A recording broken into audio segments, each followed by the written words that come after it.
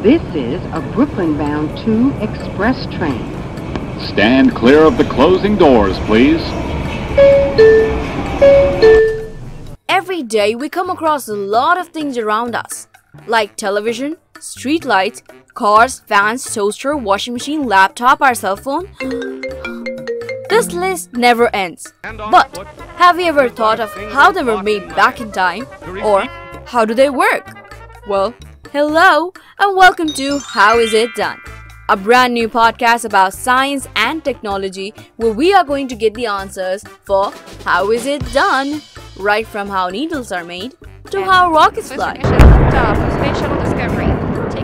We're going to get the answers for all the questions right here on this podcast. Every Tuesday with a brand new episode with your host Parvati. How is it done?